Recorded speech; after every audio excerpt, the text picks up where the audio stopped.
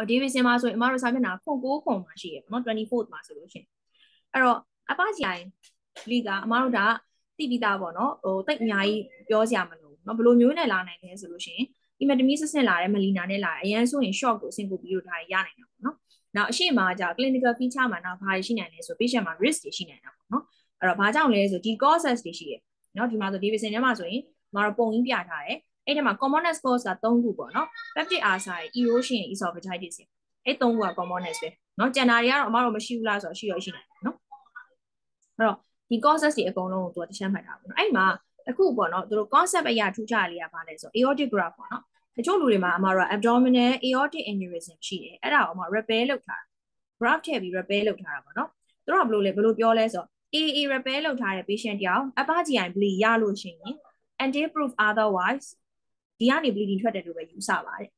နော်အဲ့ဒါဆိုလို့ရှိရင် not only OGD မမတို့ upper GI bleed ဆို OGDS ပဲလေဒါသိပြီးသား not only OGD ဒီလို patient မျိုးဆိုရင်မတို့ဘာလို့လဲဆိုတော့ CT abdomen လို့ရအဲ့ဒါလေးတစ်ခုပဲနော်အဲ့ဒီတစ်ခုကနည်းနည်းလေးထပ်မှတ်ပြီးပေါ့နော်ကျန်တဲ့ဟာရမယ်နော်ကျန်တဲ့ကိစ္စ upper GI bleed တိုင်းကမတို့ဘာလို့မှလဲဆိုရင် OGD ကြည့်မှာပဲနော်ဒါပေမဲ့ abdominal aortic ဟိုပေါ့နော် abdominal aortic surgery repair လုပ်ထားတယ် graft ထည့်ထားတဲ့ဒီမှာ upper GI bleed ရလို့ရှိရင်ကြတော့အမတို့အမြဲတမ်းဗာစဉ်းစားရလဲဆိုရင် AA ကနေ bleed ဖြစ်တယ်လို့ပဲအမြဲယူစားရတယ်အဲ့ကြင်ကြလို့ရှိရင် not only OGD ဘယ်တော့ဆိုအမတို့ CT abdomen လို့ပဲနော်အဲ့တော့ ask for hand ပေါ်ကြတော့အမတို့25ခွန်မှာရေးထားတယ် upper GI bleed ရ25ခွန်25 6 25ခွန်ပေါ့နော်အဲ့မှာ a patient with aortic graft repair upper GI bleeding ဆိုလို့ရှိရင် consider to have a aorto entrant fistula เนาะအဲ့တော့ aorta နဲ့ဒီဥနဲ့ကြားထဲမှာ fistula ရပြီးထွက်တယ်လို့အမြဲယူဆပါတယ် anti proven otherwise ပေါ့เนาะအဲကြောင့် CT abdomen is usually required as well as endoscopy ဆိုရပြောထားတယ်เนาะနောက် dullofoil lesion ဆိုတာဘာညာရှိအဲ့ဒါကြအမသိမရှင်းပါဘူး dullofoil lesion ဆိုတာဘာမှမဟုတ်ဒီဒီ gastric fundus မှာအမတို့ဟိုရှိတတ်တာဒါကြလို့ရှိရင်ဒီအပေါ်မှာအဲ့ဟိုဟိုလေးရှိတယ်ဒီမှာမပါလို့အမတို့ vascular tuft လေးပေါ့နော်ဒါလေးတဲ့ arteriole လေးရှိတတ်တယ် အဲ့ဟာနေတွေးထွက်ရင် dular foil လို့ခေါ်တယ်အားမဟုတ်ဘူးเนาะအဲ့ဒါကြောင့် dular foil လို့ပြောလိုက်ဘာမှမသိပါဆိုเนาะအဲ့ဒါနေ vascular malformation လို့ဟာမျိုးပါသွားတာပေါ့နော်အဲ့ဒါနေကြမှာကြာ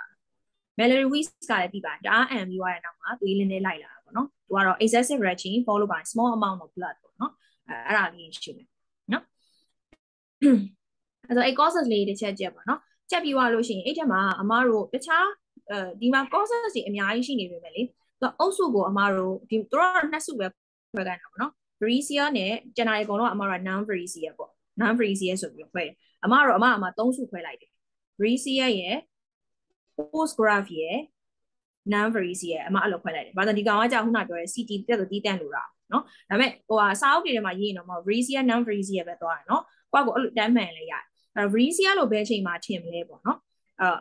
အာ sorry Vreesia လို့ပဲချိန်မှာထင်မလဲဆိုတာထဲဆိုင် Vreesia နဲ့ non Vreesia ဘာလို့ခွဲဖို့အရေးကြီးလဲပေါ့နော်ဘာလို့ခွဲဖို့အရေးကြီးလဲဆိုလို့ရှိရင် management မှာနည်းနည်းကွာတယ်နော်ဘာလို့အမက scope တော့ကြည့်မှာပဲပေါ့နော် scope ကြည့်ပြီးလိုအပ်တဲ့ဟို intervention ကဝင်မှာမှန်ပေမဲ့ Vreesia မှာဆိုလို့ရှိရင်ဒါအမက pre medication တွေကွာတယ်ဘာပေးရလဲဆိုရင်အမက portal pressure ချမယ် talibrasin ပေးပေးရတယ်ပြောရလို့ရှိရင် GI bleed ရတိုင်းရတိုင်းမှာအမတို့ဘာဝင်တက်လဲဆို HC ဝင်တက်တယ်နော်နောက် bleed တစ်ခါရလို့ရှိရင်အမတို့က SPP လည်းပို့ပြီးတော့ရတတ်တယ်။ HE ဝင်တာတော့အမတို့သိတယ်။ bleed ရတဲ့အချိန်မှာ HE ဝင်တာတော့သိတယ်။ဒါပေမဲ့ bleed ရရင် SPP risk တက်တာကြောင့်အမတို့သိမသိတတ်ဘူး။ဒီကကြရင် bleed ရရင်နှစ်ခုလုံးဖြစ်တယ်နော်။အဲ့အဲ့နှစ်ခုလုံးကိုကာကွယ်ဖို့ရအမတို့ဒီဘာလို့လဲဆိုရင် antibiotic ဆိုတယ်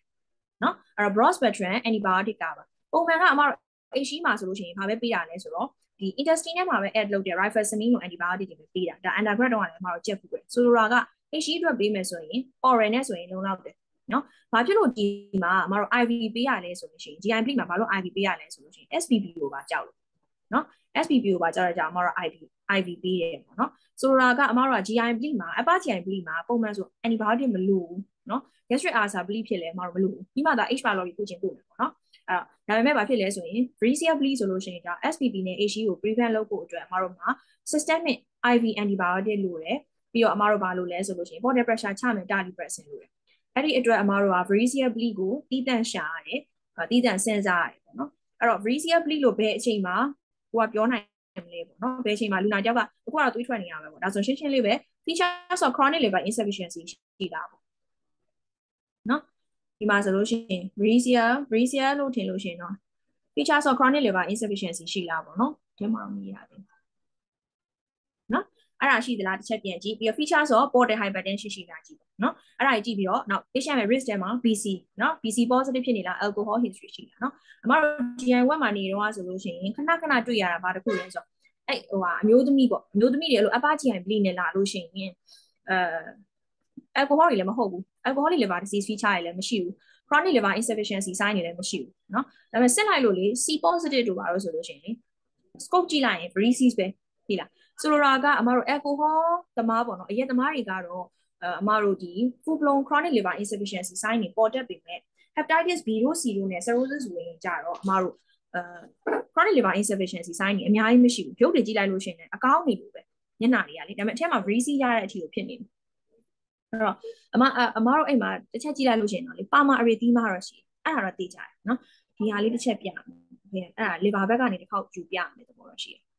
ဆိုလိုတာကနော် hepatitis B C related cirrhosis တွေက author ဖြစ်တယ် sign တွေတိတ်မပေါ်တတ်ဘူးသူတို့မှာပေါ်တတ်တဲ့တခုလေသော sign ကဘာလဲဆိုလို့ရှိရင်ပါမာအရီသီးမာနော်အဲကြောင့်မလို့ဒီဟွာနဲ့လာလို့ရှိရင်အပားစီအိုင်ဘလီနဲ့လာလို့ရှိရင်အမတို့ကခုနကပြောတဲ့ Vreesia non Vreesia ခွဲမယ်ပေါ့နော်ခွဲမယ်ဆိုလို့ရှိရင် patient ကိုလိုက်ကြည့်ကြည့်တာတော့အကုန်လိုက်ကြည့်ရတယ် features of chronic liver insufficiency features of portal hypertension ရှိလားဆိုတော့ကြည့်မရှိလို့ရှိရင်အဲ့မှာ focus လုပ်ပြီးအဓိကကြည့်ပြန်ပါမာ erythema လေးရှိလားဆိုတော့ကြည့် ပြီးရင် BC result ကိုတစ်ချက်ဆောင်ပေါ့နော်အဲ့ဒါကြီးများလို့ရှိရင်အဲ့ဒါကြီးရှိတခုခု positive ဖြစ်တယ်ဆိုရင်ဟောတာဒါ VC ဖြစ်ဖို့များ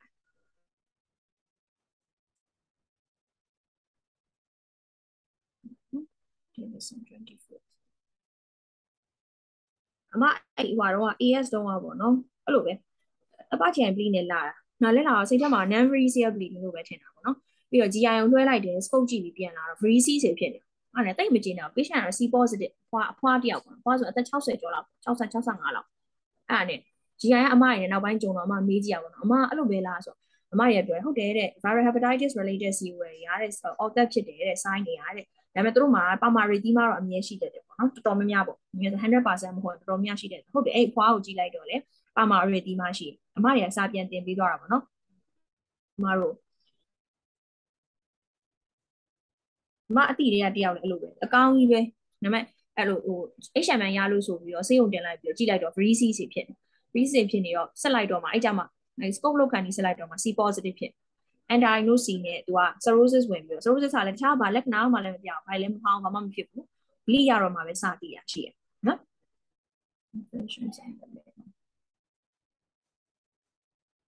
ဒါမှလီပါရောက်ရင်တော့ပြောမှာပေါ့နော်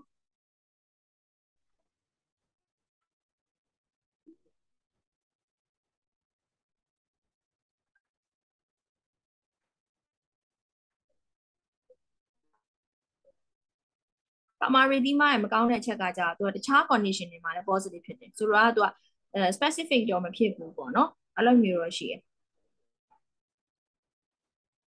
ညောင်းပါ full လုံးဖြစ်တာ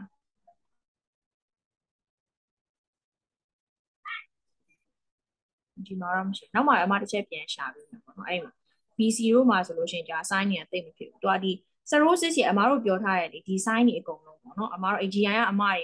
မတော်တန်းရေးပါဆိုတင်ပေးရဆိုလို့ရှိရင်ဒီ sign တွေက alcoholic cirrhosis တွေမှာပဲ full blown ဖြစ်တာကျန်တဲ့ cirrhosis တွေမှာကျတော့အာတိတ်ပြီးတော့အမတို့အများကြီးမတွေ့ရတတ်ဘူးနော်အာအရန်ဆိုးသွားတဲ့အချိန်ဆိုရင်တော့တွေ့တတ်တယ် late stage ဆိုရင်တော့တွေ့တတ်တယ်ဒါပေမဲ့ဒီခါကျရင် bleed အစရတဲ့အဆင့်မှာတော့မှဒီလက္ခဏာတွေကရှိချင်မှရှိအောင်ပဲ alcohol တွေကြာအဲ့လိုမဟုတ်ဒီ sign တွေကအရင်လာအရင်လာပြီးမှ bleed ကနောက်မှလာအဲ့လိုမျိုးပေါ့နော် sign တွေကနည်းနည်းအရင်သွားတယ် full blown ဖြစ်တယ်ရပါနော်ဆိုတော့အဲ့ဒါကိုပြော Vreesia non Vreesia ကိုစူးစမ်းပြီးတော့ခွဲအကယ်၍ clinically မတွေ့ရဘူး risk မရှိဘူးဆိုရင်ဒါ PC တစ်ချက်ကြည့်ပြီးရင် pharma erythema ရှိမရှိကြည့်အဲ့ဒါတခုခုညှိတယ်ဆိုလို့ရှိရင်ဒီတစ်ခေါက်ပလိတာ Vreesia ဖြစ်ဖို့များတယ်ပေါ့နော်နောက်တစ်ခုကစာရည်ထဲမှာတော့မပါဘူးအမားတို့အဲ့အကြီးတွေတင်ပေးသွားတာပါလဲဆိုတော့အဲ Vreesia bleed လို့ပြောပြီးဆိုလို့ရှိရင် ਨੇ Vreesia စီရတဲ့ဘယ်ကဘယ်လိုဖြစ်တာလဲဆိုတော့သူကတကယ်တမ်းကျရင်အမားတို့အရန် dilated tortuous vein တွေလေ vein အကြီးတွေနော် vein အကြီးနောက် vein ဆိုတာ venous bleeding ဆိုတာသိရတဲ့အတိုင်းပဲအမားတို့က arterial bleeding လို့မဟုတ်ဘူးသူက blood ကတစိမ့်စိမ့်ထွက်တာအဲ vein တွေကအမတို့ wall ပါတယ် wall ပါတော့သွေးထွက်ပြီးဟေးဆိုလို့ရှိရင်သူက hemostasis နဲ့လေဒီဒီ vasospasm နဲ့အမတို့ bleeding ကိုသူကသူပြန်ထိန်းနိုင်တဲ့ဟို capacity ကတိတ်မရှိဘူးဆိုတော့ vein ကနေသွေးထွက်ရင်အမတို့ကတိတ်ဖို့အလားအလာတိတ်မလွယ်ဘူးနော်အဲ့တော့ဒီ variceal bleed တွေဆိုလို့ရှိရင်များသောအားဖြင့်ကသူကအမောက်များတတ်တယ်အမောက်များတယ်များသောအားဖြင့် patient ကအနီးမီးယားသို့မဟုတ် short ရတဲ့အထိဖြစ်တတ်တယ်အဲ့တော့ကိုကအဲဒီရောက်ပါ variceal လို့ကိုထင်ပြီးတော့ patient က ဟို bleed လေးကနည်းနည်းလေးပဲထွက်ပြီးတော့တာတောင့်တာလေးဆိုလို့ရှိရင်အမတို့နောက်တစ်ခေါက်ပြန်စဉ်းစားရတယ် brazier bleed မှာဟုတ်ရလားပေါ့နော်အမအဲ့ဟိုဝက်ထဲမှာဆိုတစ်ခေါက်တွေ့ပြီအမအဲ့ဒီအမ site က patient တယောက်ကအမ site က patient တယောက်က C positive နဲ့အဲ့လိုအဖွားကြီးပေါ့နော်အဲ့လိုပဲ upper GI bleed နဲ့လာလဲလာအမဟို scope တော့မကြည့်ရသေးဘူးပေါ့ scope မကြည့်ရသေးဘူးအဖွားအဲ့အဖွားကဆေးရုံရောက်လာပြီးတော့သူ့အနေနဲ့သူဟိုဒီတိုင်း bleeding ရက်သွားတာအမတို့ resuscitate လည်းမလုပ်လိုက်ရအောင်ဒီလား line လေးတစ်လုံးလောက်ပဲချိန်ပြီးတော့လေ BP ဘာလည်းကောင်းတယ်နည်းနည်းစောင့်ကြည့်လိုက်တာတော့သူတိတ်သွားတယ်နော်အဲ့ဒါနဲ့အမ round တဲ့အချိန်မှာကြာအော်ဒါဆိုလို့ရှိရင်တော့ဒါ ACP related ပေါ့နော် CON နဲ့ most probably portal hypertension နဲ့ဒီ receiver bleeding ဖြစ်ရင်ဖြစ်မယ်ဆိုပြီးအမအဲ့လိုမျိုး present နဲ့လို့ပေါ့ဆရာကဘာပြောရလဲတစ်ခွက်မမိပါအမ receiver bleeding ရတဲ့ bleeding ဒီလောက်နေလာတဲ့ဆိုအဲ့လိုပဲမိပါမိဖြစ်တော့နောက်ကတင်ကူးသွားတာပေါ့နော်အဲ့ကြောင့်အမလည်းစဉ်းစားဟုတ်သားပဲပေါ့နော် receiver bleeding ရတကယ်ကြာလို့ရှိရင် venous bleeding ပြီးတော့သူက dilated tortuous vessel တွေကနေပြီးတော့ထွက်တာပြီးတော့ portal hypertension လည်းရှိတော့အရှိန်လည်းရှိတယ်ဆိုတော့အဲ့လောက် bleeding ကဒီလောက်လောက်ကလေးနဲ့ပဲ ရက်သွားရဆိုမှဖြစ်လောက်ဘူးနော်တော့သူရက်သွားရင်တော့များသောဖြင့် avaricia bleeding နေဆိုလို့ရှိရင်အမတို့ကဟို fluid ကအမြင့်အနည်းဆုံးငါ၄၅လုံးလောက်တော့တွင်းလိုက်ရတယ်ကွာတွင်းရတဲ့ resuscitate လုပ်ရတဲ့အနီးမရရှိတဲ့တယ်ပေါ့နော်ဆိုတော့အဲ့လောက်မဟုတ်ပဲねတိတိလေးဆိုလို့ရှိရင်ဒါ breezy မဟုတ်တော့ဘူးအဲ့တော့အဲ့လိုမျိုးပြောတာပေါ့နော်အဲဒါဒါကနောက်ထပ်စဉ်းစားစရာ point တစ်ခုပေါ့ရမယ်နော်အမဒီမှာနည်းနည်းကြာပါတယ်အပကြိုင်လေးမှာဆိုလို့ရှိရင် breezia non breezia ခွဲပါ breezia ခွဲမယ်ဆိုလို့ရှိရင်ကိုယ့်အတွက်အထောက်အကူဖြစ်တာက number 1 background risk alcohol BC ရှိသလား ပြီး number 2 feature ဆို chronic liver insufficiency ရှိလားပြီး number 3 bleeding amount ကများသလားအဲ့ဒါကိုကြည့်ရတယ်နောက်ပြီးတော့ feature ဆို chronic liver insufficiency ထဲမှာတခြား sign တွေဘာမှမရှိရင်တော့ပါမာ erythema ကိုတေချာဥစားပြီးပြီးကြည့်ဒါဒီဘက်အပိုင်းကိုမှပြောနေတယ်ကျန်တဲ့ဟာတွေကသူ့ရဲ့ risk အတိုင်းသူ့ရဲ့ presentation အတိုင်းသွားတယ်အဲ့ဒီမှာထူးခြားတာကဘာလဲဆိုရင် AA AA graph rapid အဲ့ဒါလောက်ထားခဲ့တဲ့သူတိုင်းအမြဲတမ်းဒီကနေထွက်တယ်လို့ယူဆပါ သူလောက်ထားပေမဲ့သူကသူ peptide asa ထွက်တာလည်းဖြစ်ရင်ဖြစ်မယ်ဒါပေမဲ့ဒါလို့အမြဲစဉ်းစားပြီးတော့ scope ပြင်မှာတော့ CT abdomen မှာတောင်းပေးရမယ်ရမယ်နော်ဒါကဟောပေါ့အဲ့တော့ upper GI bleed မှာအမတို့ score နှစ်ခုရှိရပေါ့နော် Davidson ကကြတော့အမတို့ Black Force score ကိုပြောတယ်နော်ဟိုကကြတော့ Oxford Hamburg ကကြအမ Rock Score ကိုပြောတယ်နော် Oxford Hamburg ကကြတော့အမ Rock Score ကိုပြောတယ်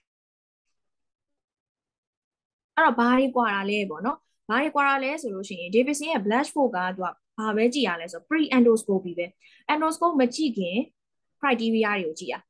အဲ့တော့ကြည့်ပြီးတော့သူကဘာလုပ်တာလဲဆိုရင် patient ကို scope ကိုဘယ်လောက်မြန်မြန်ထည့်ရမလဲဆိုတော့သူစဉ်းစားတာအခုချက်ချင်း scope ကြည့်မှာလား24နာရီတွင်ကြည့်မှာလားမဟုတ်လို့ရှိရင်24နာရီကျော်မှကြည့်လို့ရလားဒါမှမဟုတ်ဒီတစ်ခေါက် DC ပေးပြီးတော့မှ follow up ကြမှာပြန်ခေါ်ပြီးကြည့်လို့ရလားအဲ့လိုမျိုးပေါ့နော်ဆိုလိုတာကအမားတို့ OGDS ရဲ့ timing ကိုဆုံးဖြတ်တဲ့အချိန်မှာသုံးတာ blush for ရဟာ အဲ့ blush for မှာဘယ်နှချက်ရလဲပါညာဆိုမှတ်မိစရာမလိုဘူးဒါရဲ့ calculator နဲ့ထည့်ပြီးတော့မှသူတို့လည်းအဲ့လိုမရဘူးเนาะအဲ့တော့အမားတို့ဒါပေမဲ့ဘာတွေသိရမလဲဆိုရင် risk marker တွေတော့သိရမယ်เนาะအဲ urea ပါတယ် hemoglobin ကယောက်ျားမိန်းမမတူဘူးပေါ့เนาะ systolic blood pressure ပါတယ်ပါတယ်ပြီးသွားလို့ရှိရင် other marker စီထဲမှာမတို့ဘာတွေပါလဲဆို features of shock ရှိနေမလားပေါ့เนาะဟိုမှာ syncope နဲ့လာတာ pass rate တရားကျော်တာ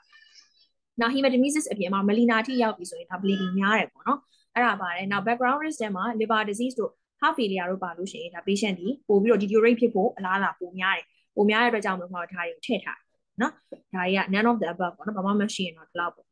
နော်အဲ့တော့သူ blush force ကိုတွက်ချင်းဒီမတို့ဘာကိုဆုံးဖြတ်တာလဲဆိုရင် OGD ရဲ့ timing ကိုမတို့ကဆုံးဖြတ်တာဒီမှာတော့ဒီမှာတော့မမသိဘူးပြောထားအောင်နော်ဟောဒီမှာရေးထား Black force score ကကြတော့ before endoscopy to predict the need for intervention to treat bleeding အဲ့ဒါကိုသွားကြည့်ရမှာနော်အဲ rock core ကကြတော့အမတို့ဘာကွာလဲဆိုလို့ရှိရင် rock core ကကြတော့အမတို့က pre endoscopy ရှိတယ် post endoscopy ရှိတယ်အဲ့တော့ तू အဲ့ဒါဆိုတော့ तू က scope လိုမလို့ဆုံးဖြတ်တာတော့မဟုတ်ဘူး तू ကကြတော့ဘာလဲဆိုတော့ rebleeding risk ကိုဆုံးဖြတ်တာနော်ဟိုဒီ patient ကိုအမတို့ scope ကြည့်လိုက်တယ်ပေါ့ scope ကြည့်လိုက်တယ်အဲပြီးတော့ intervention တွေဝင်လိုက်တယ်ဝင်လိုက်ပြီးရင် तू ပြီးရင်ပြန်ဆင်းသွားမှာပဲပေါ့ဆေးရုံကပြန်ဆင်းသွားပြီဆိုတဲ့အချိန်မှာ तू က rebleed ဘယ်လောက်ပြန်ရနိုင်လဲ ဒီ patient ကို follow up ဘယ်လိုပြန်ခေါ်မှာလဲနောက်ပြီးတော့ further intervention ကို scope ကြည့်တာဒီတစ်ခေါက်ထဲနဲ့ပြီးပြီလားနောက်တစ်ခေါက်ထပ်ကြည့်ဖို့လို့လားအဲ့ဒါကြီးဆုံးဖြတ်ဖို့ကြတော့မတို့ဘာနဲ့ကြည့်လဲဆိုလို့ရှိရင် rock on နဲ့ကြည့်ရရမယ်နော်အဲ့တော့ရမယ်နော်အဲ့တော့ blush phone နဲ့ blush phone နဲ့အမ rock on နဲ့နှစ်ခုရှိတယ်ဘောပေါက်မယ်နော်အဲ့ဆိုဒီဟာကကြတော့ဒါ rock on ကကြတော့မှဒီလား modality ပါထွက်တယ် rock on နဲ့ဆိုလို့ရှိရင်နော်ဆိုတော့အဲ့ဒါလေးတစ်ချက်ပြန်ကြည့်ပါနော်အဲ့တော့ तू ကကြတော့ rebleeding ရဲ့ modality ကိုပြန်ကြည့်ရ ဟိုကောင်ကကြတော့ intervention ဘယ်လောက်မြန်မြန်လိုသလဲဆိုတာကိုကြည့်ရရမယ်နော်အဲသူ့မှာဆိုဘာတွေပါလဲဆိုတော့အသက်ပါတယ် shock ပါတယ် shock ကိုနှစ်ခုနဲ့ကြည့်ရ systolic blood pressure pass rate ဆိုတော့အဲ့ဒါနှစ်ခုလုံးကဟိုနဲ့တွားနေနေသွားဆင်တယ်အမှတ်တွေပေးရတာတူချင်မှတူမယ်ပေါ့နော်ဒါကတော့ခုနအဲ့ဟိုနဲ့ blush phone နဲ့တွားသွားဆင်တယ်နော်ကိုမောဘစ်ထည့်စင်းစားတာချင်းတူတယ်နော် post endoscopy ကဒါတွေကတော့ပဲရှိမှာလေပေါ့နော်သူ့ထဲမှာကြတော့ဟိုထဲမှာမရှိဘူး blood show ထဲမှာအဲ့ဒါမပါဘူးနော် blood show ကအသက်မပါဘူး နော်သူက hemoglobin ထည့်မတွက်နည်းနည်းလေးကွာလေးနည်းနည်းလေးတစ်ချက်အဲ့လိုမျိုးလေးစဉ်းစားပြီးတော့ဖတ်ကြည့်ပေါ့နော်ဆိုတော့ဒါလေးတစ်ချက်ရမယ်နော်အဲ့ဒါဆိုပြီးအမတို့အဲ့မှာဒီဒီဟာထဲမှာဒါလေးတစ်ခုရေးထားတယ်နော်။မှာသူက scope ကြည့်လိုက်တဲ့အချိန်မှာ anatomy ကလည်းအရေးကြီးတယ်တဲ့ဆိုပြီးတော့ posterior duodenal ulcer ထဲမှာမှာ anterior wall နဲ့ posterior wall ဆိုလို့ရှိရင် posterior wall သမားတွေကပို့ပြီးတော့ risk များတယ်။ဘာကြောင့်လဲဆိုရင် gastroduodenal artery နဲ့နီးတဲ့အတွက်ကြောင့်မလို့သူကသေဖို့လားလာများတယ်။ shock ရဖို့လားလာလည်းများတယ်ပေါ့နော်။အဲ့ဒါလေးကိုအမတခါဟိုမှာမီးတာတွေ့ပြီးရ basic science ဘက်မှာမီးရတွေ့ပြီးရပေါ့နော်။ပတ်ဝန်းသမားတွေအတွက်ဆိုလို့ရှိရင် posterior DU ကဘယ် artery နဲ့နီးတာလဲဆိုပြီးမီးရတွေ့ပြီးရနော်။ဘာကြောင့်လဲဆိုတော့တို့ကဒီဒီဒီဟိုဟိုပြန်ရှိအောင် apply anatomy ပြန်ရှိလို့နော်။အဲ့တော့ gastroduodenal artery ပေါ့နော်။ဒီ stomach နဲ့ duodenal အနောက်ထဲကနေပြီးတော့ဆင်းသွားတာ။အဲ့ဒီ artery ကနော်။အဲ့ဒီအဲအဲ့ဒါနဲ့သူကနီးရတဲ့ကြောင့်တည်တတ်တယ်ပေါ့နော်။ ထိုင်ဖြစ်တာရှိတယ်။ကျွန်တော်ကတော့အမကိုတိတ်အများကြီးပြောစရာမလိုဘူးနော်။တိတ်အများကြီးပြောစရာမလိုဘယ်လိုလုပ်မလဲဆိုတော့အဲဟိုက initial ပေါ့ emergency resuscitation shock မှာလုပ်သုံးတဲ့အတိုင်းပဲပေါ့နော်အကုန်လုံးတူတူပဲနော်ဒါပေမဲ့တစ်ခုလေးပဲဒီနားလေးတစ်ခုကြာအမတို့နားမလည်မှာဆိုလို့ cirrhosis တို့ varices တွေလို့ဆိုလို့ရှိရင်သူ normal စီလိုက်အောင်အရင်မသုံးစေချင်ဘူးပေါ့နော်။ဘာကြောင့်လဲဆိုတော့အမတို့ salt and water retention အရင်ဆိုးမှာဆိုလို့နော်။အဲ့လိုအချိန်မျိုးကြာရင်အမတို့ကအဲ့ဆိုနော် NS မသုံးရအောင်လားလုံးဝမသုံးရအောင်လို့ပြောတာမဟုတ်ဘူး။ ရှိရင်ရှိရဟာသုံးဒါပေမဲ့အများကြီးမထည့်နဲ့လို့ပြောတာ NS တွေပဲအများကြီးမထည့်နဲ့။ကောင်းတာအမတို့ black ကိုမြင်မြင်ရှာထည့်နော်။အပကြရင် bleed မှာအမတို့ bleed ရှိရင် bleed ရှိသလား black ကိုမြင်မြင်ရှာထည့်လို့ပြောတာနော်။အဲ့ဒါပြောတာအဲ့တော့အဲ့ဆိုလို့ရှိရင် initial မှာ NS နဲ့တခြား solution နဲ့ရှိရဥမာ ringer နဲ့ရှိရဆိုတော့ ringer ကိုထည့် balance solution စီကိုတော့ပို့ကြိုက်တယ်။တို့နိုင်ငံမှာကြာ ringer electric ကိုမသုံးဘူး။ Hartman solution ဆိုတာသုံးတယ် ringers လို့ပဲနော်။အဲ့ဒါကအမဒီမှာ IV fluid တွေဆိုတဲ့အကြောင်းရေးထားရှိရပေါ့နော်။စာမျက်နှာ Oxford Handbook ရဲ့စာမျက်နှာ666 63လုံးမှာရှိရ။အဲ့အားလေးကစိတ်ဝင်စားဖို့ကောင်းတယ်နော်ဖတ်ကြည့်ကြည့်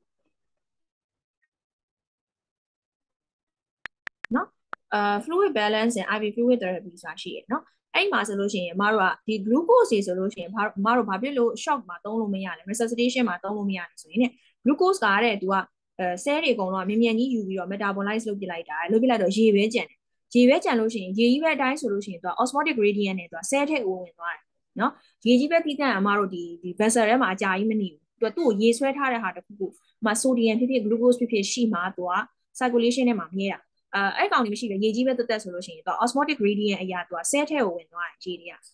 နော်အဲအကြောင်းဘာဖြစ်သွားလဲဆိုရင် all fluid compartment နဲ့ rapidly equilibrate ဖြစ်သွားတဲ့အတွက်ကြောင့် useless for fluid resuscitation မှာတဲ့5% dose စီရပါဒါကြောင့်သုံးလို့မရတာပေါ့နော် ဟိုတောင်းလျှောက်အလုံးလုံးလာတော့တိတော့တိတယ် DW တွေကအမတို့ DS တွေက resuscitation မှာသုံးလို့မရဘူးဆိုတာတိတယ်ဘာကြောင့်လဲဆိုတာじゃတိတ်တိတိကျကျမသိမှာဆိုလို့ပေါ့နော်အဲ့တော့အဲဘလောက်အထိ effective မဖြစ်လဲဆိုတော့ DW တစ်လုံးထည့်လို့ရှိရင်အမတို့က6ပုံတစ်ပုံပဲဟိုဒီဟို intravascular ထဲမှာနှိတယ်ဆိုတော့ 900cc ထည့်လို့ရှိရင်အမတို့ကဟိုလောက်ပဲကျန်50 85လောက်ပဲကျန်တယ် 85cc လောက်ပဲကျန်တယ်တွေးတယ်မှာလေအဲ့တော့အမတို့ဘလို့မှလုပ်လို့မရအောင် ဒါပေမဲ့သူကကောင်းတာတစ်ခုကじゃဘာအတွက်ကောင်းလဲဆို cellular hydration အတွက်တော့ကောင်းတယ်ဘာကြောင့်လဲဆိုတော့ तू ကဖြည့်လိုက်တယ်ပေါ့နော်ဒီမှာဆိုလို့ရှိရင် circulation တွေကိုဖြည့်လိုက်တယ် circulation မှာမရည်ပဲနဲ့မနေပဲနဲ့တော့ဘယ်ရောက်သွားလဲဆိုဒီ interstitial တို့ cell တွေတွေကိုဝင်သွားတာကြောင့်မို့ဒီ cell လေးတွေပိန်နေတဲ့ cellular dehydration မှာဆိုလို့ရှိရင်နော် DW ကသုံးလို့ကောင်းတယ်ဒါပေမဲ့အဲ့လိုမဟုတ်ဘဲနဲ့ဒီထဲမှာပဲအမတို့ရေများများဆွဲခြင်းနေဆိုလို့ရှိရင်တော့အဆင်မပြေဘူးနော်အဲကြလို့ရှိရင်တော့ကိုးပုံတစ်ပုံပဲဒီထဲမှာနေရအဲ့တော့ S ကတော့အမတို့ထည့်လို့ရှိရင်ဘယ်လောက်နေလဲဆို1သက်လောက်နေတယ် 3ဆလောက်များတယ်ပေါ့နော်အဲ့ဒါကြောင့်မလို့သူကမကောင်းတဲ့ချက်ကကြတော့သူကဟိုဟာပေါ့ဆိုဒီယမ်ဆိုဒီယမ် content ပဲများတာကျန်တဲ့ဟိုဟာ electrolyte တွေကြောင့်အမျှတာမပါဘူးပေါ့နော်အဲဟိုဟာကြတော့ Hartman solution ကြတော့အမတို့အထက်မှာပါတဲ့ electrolyte content တွေကိုကြည့်လိုက်လို့ရှိရင်အမတို့ဟိုဟာပဲပေါ့နော် more physiological ဖြစ်တယ် alternative to 0.9%စီလိုက် and consider more physiological ပေါ့နော်ပိုပြီး physiological ဖြစ်တယ်သူတို့နိုင်ငံမှာတော့ Hartman သုံးတယ်အမတို့စီမှာတော့ Ringer's Ledic သုံးတယ်နော် Ringer's Ledic Ringer's Ledic မှာကြာအမတို့ဟိုတော့မပါ calcium တော့မပါ ကျန်တဲ့ဟာတွေတော့ပါတယ်နော်ကျန်တဲ့ဟာတွေ plasma နီးပါးကိုသွားလောက်ထားတာပေါ့နော်ဆိုလိုတာကအမလည်းအခုနောက်ပိုင်းမှာ resuscitation တို့ဘာလို့တခြား fluid တော်တော်များဆိုလေ hyperkalemia အဲ့လိုမျိုးစိုးမနေဘူးလို့ဘာလို့ဆိုလို့ရှိရင်အမ ringless ပဲသုံးတယ်နော်။ဟိုဟိုပေါ့ ESRD ပေါ့ kidney မကောင်းတဲ့လူတွေအဲ့လိုမျိုးလူတွေကလွဲလို့ကျန်တဲ့လူတွေမှာဆိုလို့ရှိရင်အမကတော်တော်များ reset လုပ်လို့ရှိရင် ringless ကိုအမတို့ပို့သုံးတယ်ပေါ့နော်ပို့သုံးလာကြတယ်။ပို့ပြီးတော့ physiological ဖြစ်တယ်ဆိုနော်။ ရမယ်နော်အဲ့တော့အဲ့ဒီဟို Oxford Handbook ကိုဖတ်တဲ့အချိန်မှာအမတို့စောစောက portion လေးမှာဆိုလို့ရှိရင်အမတို့တည်ပြီးသားကဒီ short ရနေတယ် bleeding ထွက်နေတဲ့လူတယောက်မှာ resuscitation ဘယ်လိုလုပ်မလဲဆိုရင်အပိုင်းကကြာအမတို့သိပြီးသားနော် sorry အဲ့အပိုင်းကတော့အမတို့သိပြီးသားကျန်တဲ့အပိုင်းကကြာတော့ခုနကပြောတယ်အဲဟိုဟာလေးပေါ့အဲ fluid နဲ့ပတ်သက်လို့လေးဟာဟိုဘက်အနောက်မှာအဲ electrolyte clinical biochemistry ဘက်မှာရေးထားတာလေးရှိရယ်နော် Oxford ရဲ့63လုံးမှာရှိရယ်အဲ့ဒါလေးပဲချက်ဖက်ကြည့်ပြီပေါ့နော် နောက်ဒီဟာလေးပြောချင်တယ်ကျန်တဲ့ဟာရမှာတော့သိပြဿနာမရှိဘူးယူရီးယားယူရီးယားကြတော့အမားတို့ကအာပေါ့နော်ယူရီးယား level တက်လာတတ်တယ်။ဘာကြောင့်လဲဆိုရင် blood တွေကို blood တွေကနေပြီးတော့ထွက်တဲ့နော်ဒီဟိုပေါ့ amino acid တွေ blood ဆိုတာရမ်းကြရင် protein တွေအများကြီးပါပဲလေ။အဲ့ဒါကို liver ကနေ metabolize လုပ်လိုက်လို့ရှိရင်မဟုတ်ယူရီးယားတက်လာတယ်ပေါ့နော်။အဲ့တော့ creatinine အဲ့လောက်ထိမတက်ဘဲနေယူရီးယားပုံများနေလို့ရှိရင်အမတို့နှစ်ခုစဉ်းစား number 1 dehydration ပေါ့နော်။နံပါတ်2ကကြာအမတို့က severe bleed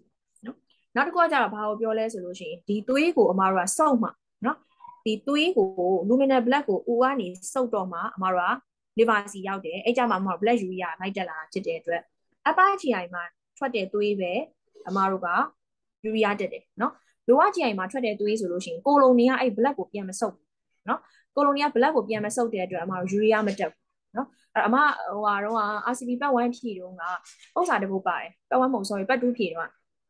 အပ GI bleed နဲ့လိုအပ် GI bleed ကိုဘယ်လိုခွဲမှာလဲဆိုပြီးတဲ့ထဲမှာအဲ့ urea ပါတယ်နော်ယူရီးယားတက်လို့ရှိရင်ဒါအပဂျန်ပလီအပဂျန်ပလီမှာယူရီးယားတွေအများကြီးတက်တယ်နော်လိုအပ်ဂျန်ပလီမှာကြာအမယူရီးယားအဲ့လိုမျိုး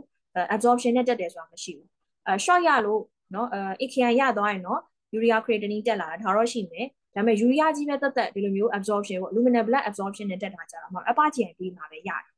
ရမယ်နော်ဒါဒီကအဲ့ဒါရေးရေးထားတယ်ယူရီးယားတက်တာဒီ severe bleeding ကိုလည်းပြတယ် upper ဆိုတာကိုလည်းပြတယ်ရမယ်နော်ကျန်တာတွေကအမတို့တိတ်အများကြီးပြောစရာမရှိဘူးကျန်တဲ့ treatment တွေကနော်အဲ့တော့ကိုဘက်ကကြည့်လိုက်လို့ဒီဘက်မှာ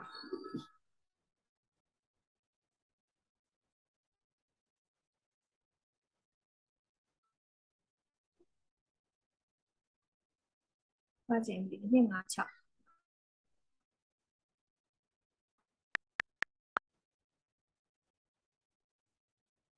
နော်ဒီမှာဆိုလို့ရှိရင်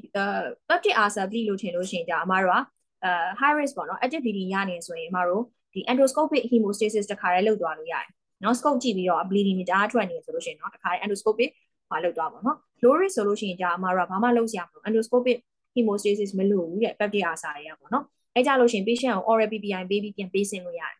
high risk ဆိုလို့ရှိရင်တော့ endoscopic intervention လည်းလုပ်ရတဲ့အပြင် patient ကိုဆေးရုံပေါ်မှာအမတော့ဘယ်လောက်ဘယ်လောက်ဟိုဟာ PPI တင်ထားရမလဲဆိုရင်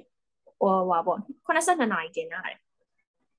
နော်ဆေးရုံ3ရက်တက်ရမယ်ပေါ့နော် high risk ဆိုလို့ရှိရင် endoscopic intervention ကိုဝင်ပြီးဆေးရုံပေါ်မှာ3ရက်ထား PPI ကိုအမတို့က3ရက် IV ပေးရတယ်နော်အဲ့မှာသူကအဲ့မှာအဟိုရင်တော့ကတော့ဗာလဲဆိုလို့ရှိရင်အမတို့72 hour IV infusion ဆိုပြီးပေးခဲ့တယ်နော် GI wet တွေမှာလည်းအမတို့လည်းဟို house to AS တို့တော့ပေးခဲ့ရတယ်ဒါပေမဲ့အခုနောက်ပိုင်းမှာကြာအဲ့လိုမပေးရဘူး ဘယ်လိုပဲလုပ်လဲဆိုလို့ရှိရင် dry hour လီ just အမတို့ bolus injection ထိုးတာက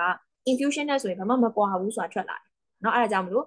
bolus ပေးခြင်းလည်းခုနောက်ပိုင်းမှာရတယ်ပေါ့နော်အဲ့တော့ hemodynamically stable ဖြစ်တယ်ဆိုလို့ရှိရင်เนาะ scope ကြည့်ပြီးရဲ့နောက်6နိုင်နေလို့ရှိရင်မတော့အရှိစတောက်ရเนาะအဲ့ဆို OGD OGD ကအဲ့ဆို OGD တိုင်းက6နိုင်မှရေးတောက်အောင်မလားဆိုမဟုတ်ဘူးเนาะ OGD မှာဘာမှမရှိဘူးဆိုလို့ရှိရင်အဲတချို့မှာတခြားကိစ္စပေါ့မှာ dyspepsia တော့ကောင်းနေကြည့်ရပေါ့ bleeding မရှိဘူး ရိုးဒီတိုင်းကြည့်တယ်အနာတွေပါလည်းမရှိဘူးဆိုရင်တော့ scope ကြည့်ပြီးမှတော့ဒီအာကောင်ဖျန်းထားတဲ့ထုံစည်းပြင်လို့ရှိရင်ရေတောက်လို့ရတယ်အဲထွက်လာပြီးနိုင်ဝက်လောက်ဆိုရင်မှတောက်လို့ရတယ်နော်ပုံမှန်ဒါပေမဲ့အာစာနဲ့ bleeding ပေါ့ bleeding အာစာဆိုလို့ရှိရင်တော့အနည်းဆုံး6နာရီလောက်ဆောင်ရတယ်အရေမတောက်ခင်မှာနော်ဒါပေမဲ့အဲ့ဒါလည်း hemodynamically stable ဖြစ်အောင်ပါပေါ့အရန်ဆိုးနေတဲ့လူနာဆိုရင်တော့အဲ့ထက်ပိုပြီးတော့မှာတော့နေပိုင်မောင်းကြကြလောက်ရရင်လည်းရှိနိုင်တယ်နော်အဲ့တော့ H pylori ရှိရင် H pylori ကိုပို့ပေါ့နော် even အမှားတော့ positive မဖြစ်ရင်တော့မှကုပါတယ်။ဘာကြောင့်လဲဆိုတော့ peptic ulcer ရှိရင် indication for H pylori eradication ကအမှားတော့ရှိပြီလား။နော်ဘာကြောင့်လဲ peptic ulcer ဆိုတော့ဒီကောင်မှမဟုတ်ရင်တခြားအကောင်ကြောင့်ဖြစ်စရာတိတ်တခြားအကြောင်းကြောင့်ဖြစ်စရာတော်တော်နည်းတယ်လေ။နော်ရမယ်နော်။အဲဆိုဒါအမှားတော့ peptic ulcer ဟို bleeding ဆိုတော့လုပ်တယ်။အာဟိုကကြာ varices ကျတော့အမှားတော့ဘာလုပ်လိုက်လဲ။ band ချီလိုက်တယ်ဒါမှမဟုတ်လို့ရှိရင်ထဲတော့ sclerosant ပေါ့နော် sclero injection ထိုးလိုက်တယ်။ထိုးလိုက်ပြီးသွားလို့ရှိရင်နောက်ပြီးခုန talipressine အမှားတော့ဆက်ပြီးရပေါ့။နော် talipressine ကိုလည်းသူလည်း3ရက်ပဲ။ အမတို့အကြမ်းမြင့်မှတ်ထားတယ်အဲ GI bleed များလို့ရှိရင်3ရက်ပဲနောက်ကလိုက်ရ medication တွေအာစာဆိုရင် peptide အာစာဆိုရင်တော့ PPI ကို3ရက်လိုက်တယ်အကယ်၍ brachial bleeding ဆိုလို့ရှိရင်တော့အမတို့ talipressine ကို3ရက်လိုက်တယ်အမတို့ဝက်ထဲမှာတော့ talipressine တွေကအမတို့အမတို့ဟိုတော့ငယ်တော့မရှိဘူးမရှိတော့ဘာပေးလဲဆို ultrite တွေပဲပေးရအောင်နော် ultriotype တွေပေးတယ် talipress ကတော့ပိုကောင်းတယ်နောက်ပြီးသွားလို့ရှိရင် the prophylaxis ကကြတော့ဟိုကောင်ကကြတော့ prophylaxis လုပ်ချင်ဘာလုပ်လိုက်လဲနောက်ပိုင်းချက်မဖြစ်အောင်ဆိုရင် H pylori ပေးချလိုက်တယ် ပြီးတော့ bleeding ulcer ဆိုရင်မတို့အရှိမတော့ဖက်ပူတာတည်တယ် PPI အောင်နောက်ထပ်6 to 8 weeks လောက် extend လုပ်ပြီးတော့ဆက်ပေးတယ်နော်အဲအမအရှိမပြောပြီးသားဒီကောင်ကြတော့အမတို့ကဘာလုပ်ရလဲဆိုတော့အဲဟိုပါပဲအဲ beta blocker ထည့်တယ်နော် beta blocker ထည့်ရဒါမှမဟုတ်လို့ရှိရင် repeat endoscopic banding လုပ်ပေးရတယ်နော်အဲ့လိုမျိုး repeat ပြန်လုပ်ဖို့လိုမလို့အမ rock on နဲ့ကြည့်ရတယ်နော် rock score ကအဲ့ဒါပဲနော် rebleeding risk များတယ်သေနိုင်တယ်များတယ်ဆိုလို့ရှိရင် patient ကိုအမတော့စိတ်စိတ်ကလေးခေါ်ပြီးတော့ scope မြင်မြင်များများကြည့်တယ်ကြည့်ပြီးတော့ခဏခဏကြည့်ပြီးတော့ banding ကိုတစ်ခါတစ်ခါခြီးပေးလိုက်တယ်ဒါမျိုးပေါ့နော်အဲ့ဒါမျိုးအဲ့အမတို့ wine နဲ့ပြန်ကြည့်တယ် beta blocker ကလေဟိုက short ရနေတဲ့အချိန် acute bleeding မှာတော့လုံးဝမပေးရအောင်နော်ပိုဆိုးတတ်တယ်အမတို့ stable ဖြစ်ပြီး bleeding လုံးဝတိတ်ပြီဆိုတဲ့အချိန်ကြာမှာပဲအမတို့ပြီးလို့ရမယ် beta blockade က beta blockade ကိုမလွန်ရအောင်နော်အရန်ဆိုရင်တော့အမတို့ tips တီးပေးလို့ရတယ်ပေါ့နော်အဲ့တော့ prophylaxis မှာဆိုလို့ရှိရင်အမတို့က ဘာလဲဆို beta blockade ပါတယ် repeat endoscopic banding ပါတယ် tips ပါတယ်သုံးခုရှိတယ်နော်အဲ့ဒီမှာ primary prophylaxis ပေါ့ bleeding မရခင်တည်းကသုံးရတာဒါ bleeding ရပြီးမှသုံးတာဆိုလို့ရှိရင်တော့အမတို့ဒါနဲ့ဒါအပူကောင်းတယ်နော်ရမယ်နော်အဲဆိုမအပါကြီးအန်ပလီကိုလည်းပြောသွားတယ် Brisi ကလည်းနည်းနည်းလေးတော့ပြောသွားတယ်ပေါ့နော်အဟိုရောက်ရင်တော့အမတို့အဲ liver အခန်းရောက်တယ် cirrhosis ပြောတဲ့အချိန်မှာဆိုရှင်တော့ပို့ပြောမယ်ပေါ့နော်ဒါကတော့ upper GI ပလီကတော့ဟုတ်တယ်ဒီလား lower GI ပ လီကြတော့တိတ်ပြီးတော့အများကြီးမပြောကြဘူးလို့ရတယ်ဟောနောက်ဒီနောက်မှာဒီဇာတ်လေးရှိတယ်ဒီဇာတ်လေးကကြတော့အမတို့ PPI တွေကိုသူတို့ရဲ့ standard dose ရယ် high dose ရယ်ဘယ်လိုကွာလဲဆိုတာလေးတစ်ချက်ပြောထားပြီးရနော်အဲ့ဒါလေးတစ်ချက်လေးမှတ်ထားပြီပေါ့နော်အဲ့ဒါနဲ့ဆိုသူကတော့အခုထိ infusion ကိုပေးနေတော့မယ်နော် infusion ကိုသူကပြောနေတော့မယ် output ဟမ်ဘုတ်ကတော့ infusion ကိုသူတိတ်ပြီးတော့အများကြီးဟောဖြစ်တော့နော်အဲ့တော့ lower GI bleed lower GI bleed ကကြတော့အဲ့ဒါကြတော့အမဒီဒီဒီဟိုလေးနဲ့အမ notes နဲ့ပြမှာအဆင်ပြေအမ notes လေးနဲ့ပြီးမှအမတို့ဒီ division လေးကိုတစ်ချက်ကွက်ကိုဖတ်ကြည့်ပေါ့နော်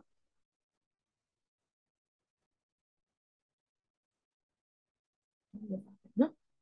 GI bleed ကဒါ acute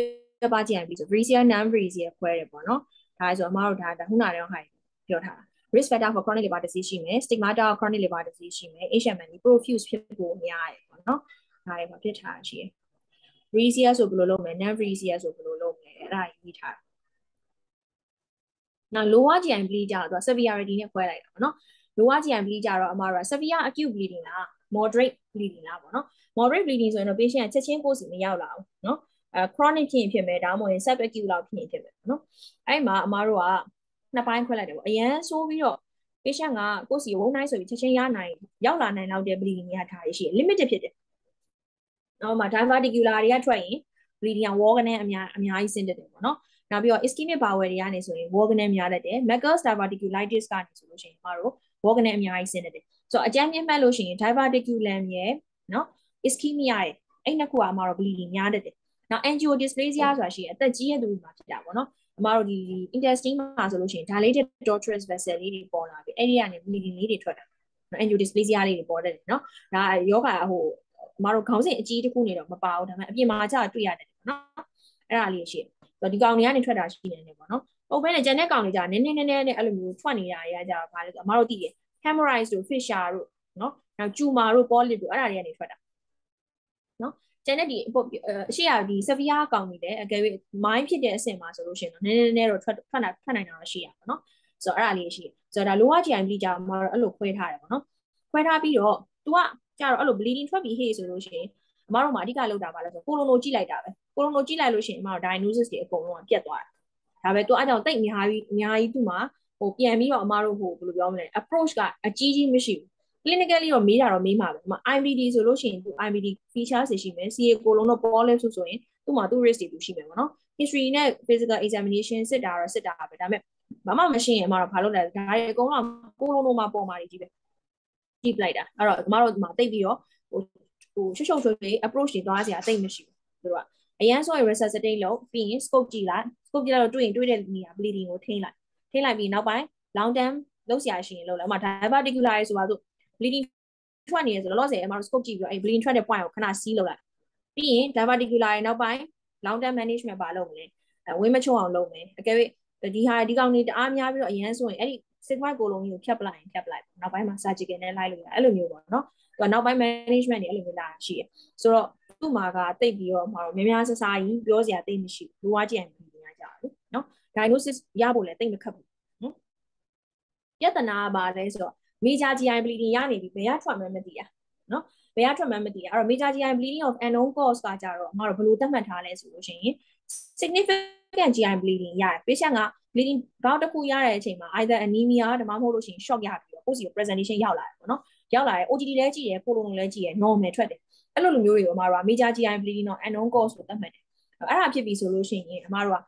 နှစ်ခုသွားရပါတော့နံပါတ်1ကိုစီကို shock လောက်နဲ့ရောက်လာတာလားဒါဆိုရင်တော့ severe ရော life threatening ပေါ့နော် shock တော့မဟုတ်ဘူး anemia ပေါ့နော် significant anemia ရလို့ရှာရင်ရှာရင်နဲ့အဲ့လိုဖြစ်သွားတာလားပေါ့နော်အဲ့ဒါမျိုးနှစ်ခုရှိတယ် less severe နော်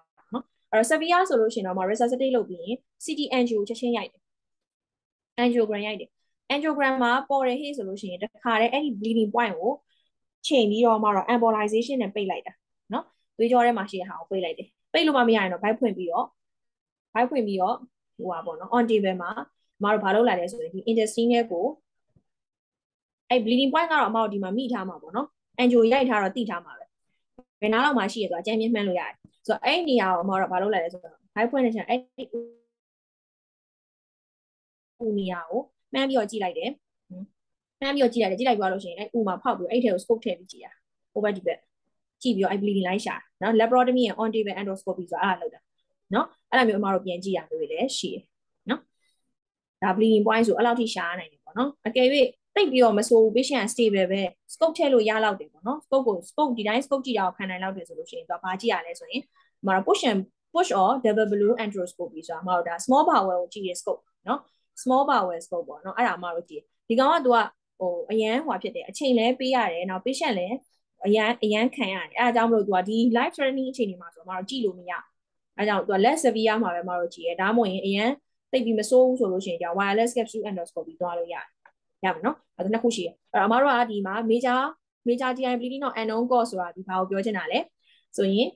အဲ small bowel bleeding ကိုပြောချင်တာအဲ့မှာ life threatening ဆိုလို့ရှိရင် angiogram တစ်ခါတည်းတန်းသွားပြီးတော့အဲ့ဒီမှာရှာရှာလို့တွေ့တယ်ဆိုလို့ရှိရင် embolization လုပ်နော်လုပ်လို့မရဘူးဆိုလို့ရှိရင်အမတို့ laparotomy ဖွင့်ပလိုက်နော်အကယ်၍ less severe ဆိုလို့ရှိရင်တော့အမတို့မှာအချိန်ရှိသေးတယ်ဘာလုပ်လို့ရလဲဆိုရင် scope ကြည့်လို့ရတယ် small intestine နဲ့ scope ဆိုတော့အမတို့က double blue enteroscopy လို့လည်းခေါ်တယ် အဲ့ဒီကောင်ကြည့်လို့ရဒါမှမဟုတ် capsule endoscopy ကြည့်လို့ရတယ်နော်ဒါနဲ့ပြန်ကြည့်မေဘလို့မှမရရင်တော့ဘိုင်းကြရင်ပြန်ခွဲပေါ့နော်နောက်တစ်ခုကကြတော့ဗာလဲဆိုတော့တအီးတစိမ့်စိမ့်ထွက်တာ chronic organ GI bleed ဆိုတာရှိရနော်လုံးဝမသိတာတစိမ့်စိမ့်နော်တွေးစစ်တာလည်းအမားတို့အဲဆက်လိုက်တော့မှမိသွားအောင်ဒါပေမဲ့ fatigue လေးလောက်ရလို့မှမိသွားတာမျိုးပေါ့နော် naked eye နဲ့တော့မမြင်ရအောင်ခါကြရင် ID နဲ့မှတည်တယ်အဲ့ထဲမှာဆိုလို့ရှိရင် commonest cause ကဘာလဲဆိုတော့ CAC ကံပဲ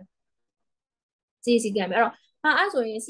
ဟိုကပို့ပြီးတော့ common ဖြစ်တာမဟုတ်ဘူးလားအဲ rhedosigmoid colony ကမတို့ C